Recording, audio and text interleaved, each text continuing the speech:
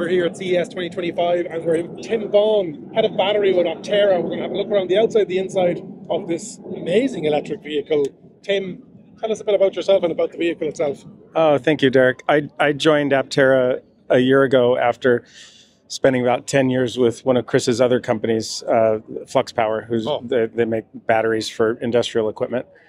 And um, yeah, I joined as responsible for the battery system. Mm-hmm. And in that time, I'm happy to see that we've gotten as far as we have with the production intent vehicle. So what you're looking at here is a vehicle that's built on a um, a chassis that is um, approximately in product production intent. It's it's it's machined rather than cast. Okay, the, the- the- the cast one is over there. Yeah. Yeah, if we want to take a look at the cast one, the exploded view is probably better for details. Street, street Oh. I think. I'll sc- scrape through here.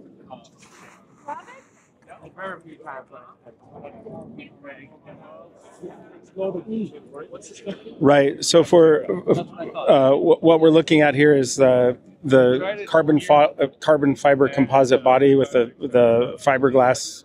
Um, the, the gray material here is fiberglass. The black you can see is carbon fiber. Okay. And this is molded on production tooling in Italy by a company called CPC. Hence the, the, the trolley or the dolly that it's on. Yes, yeah, they've branded that to, to show who's who's involved. Yep. and CoStamp has provided us the the cast aluminum chassis. So these these are basically what it would look like in in full production. Uh, So likewise with the suspension, Carbon fiber, fiberglass. and then the aluminium. Yes. Very good. Yep. And it's an exploded view, as you say. Yeah. So the the body panels come out of the mold uh, already prepared. There's no sanding or surface finish required, other than removing some minor flashing from the the mold process, and then it's um, bonded to this frame. That's obviously not bonded to this frame, just so that you can see the frame. The different elements. Yep. It's got a very unique teardrop shape. Aerodynamics is of huge importance. It's critical, yeah. So so this vehicle is um, it, it'll it'll travel with approximately one 100 watts per watt hours per mile, which is maybe a third of what most electric vehicles uh, require. Um, for example, the vehicle I drive takes about 300 watt hours per mile. Okay. Um, so at 100 watt hours per mile is profoundly more efficient. And For my metric audience back in Europe, I'm going to put a conversion on the screen so we don't have to. uh, thank you, thank you. Yes, I, I I'm not going to put Tim on the spot here. either. I, I think in metric when it comes to dimensions of um, sh- small distances, Yes. uh, in inches and millimeters and centimeters, I'm familiar with. But yeah, it's, it's strange. We've got we've got watt hours, which is an SI unit, and we're Uh-huh. referring it to with, Yeah. with respect to the miles. That can be a little confusing. go back over to the actual vehicle itself. So it's great Sure. to see the different. And I'm not saying it's simple, but it's.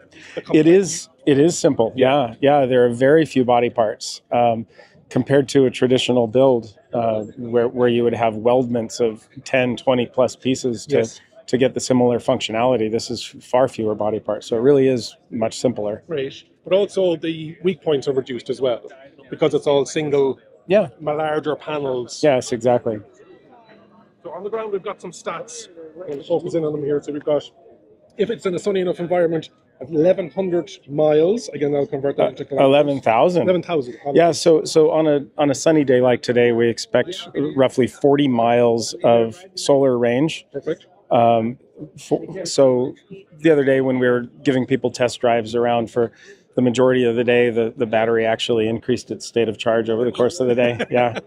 So So- it works. Wow. Yeah, so- go back over the front. Any reason to excuse me instead of before? Yes, fundamentally it's for efficiency. Okay. Yep. Yeah. So the aerodynamic shape of it is is critical to success in terms of the the range and the the solar power being able to contribute a meaningful amount of range to the vehicle. Amazing. So to go with four wheels would introduce far more drag, and And that's the, yeah. yeah. the the motivation here is pure and simple um, to make a, an efficient sun powered vehicle. And there is an element of what's the size of the battery inside there? Your, that's your Yeah, I don't know. Uh, that's head of battery. 40, 42 kilowatt hours. Nice. Okay, perfect. Yeah. Um, and the number of it's panels on the bonnet, Yep. roof, and you call it trunk or tail, or what would you call that at the Uh, back? a boot, perhaps, for your audience. Thank you, Tim. Uh, and Repeatization of it. yes, and also the the dashboard as well. Oh, in turn. Oh, Yep. so inside. Yep. Oh, I didn't notice that yesterday. Yep. Very So, so the, the production solar panels will be made of glass. This this front one is is made out of glass rather than polycarbonate.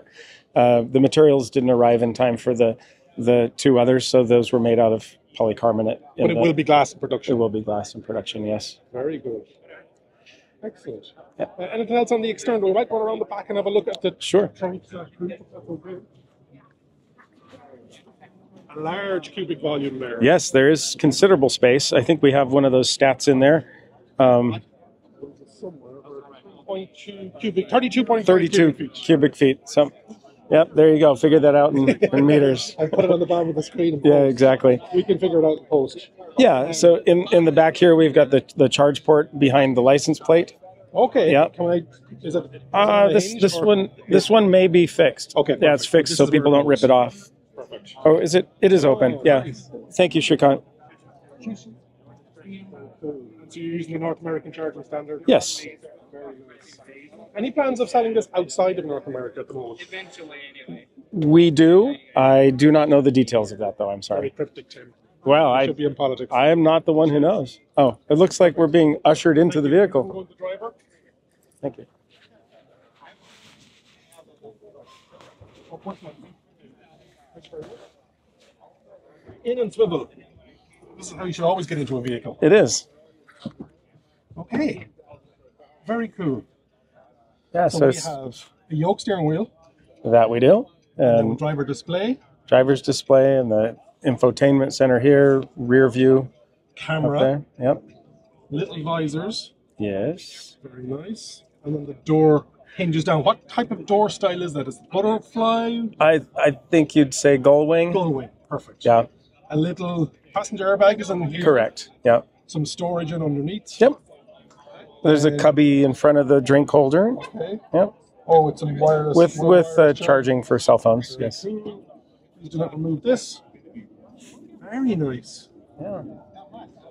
It's simple, elegant. it is, and headroom, just so you can see, I'm six foot two, 188 centimeters. Actually, a good distance, maybe four, five, six centimeters here.